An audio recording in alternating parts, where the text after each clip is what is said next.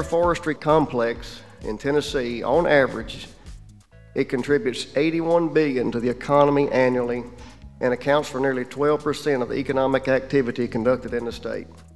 There are over 69,000 farms in Tennessee, and I think it's important to note that 98% of them are family farms.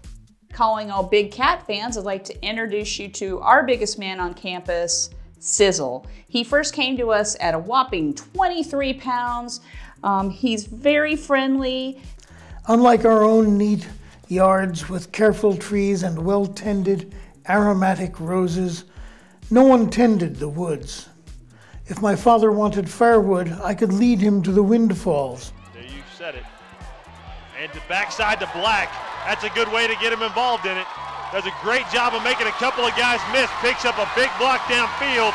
He's off to the races. I don't think 45 is going to catch him.